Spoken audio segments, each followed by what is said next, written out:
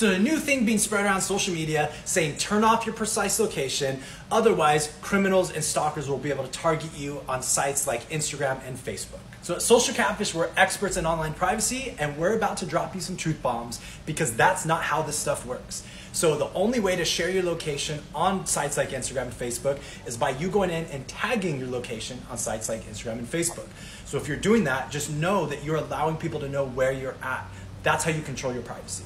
There's another feature that Facebook and Instagram have for high engagement accounts where a user can go in there and they can see the username, you know, how many times you've changed your username and your general location, but they look at things like United States or places like Nigeria or Russia, and that's what they give as far as location goes. There are lots of apps that require your location in order to work properly. Google Maps is one of them. Imagine being lost without knowing your precise location.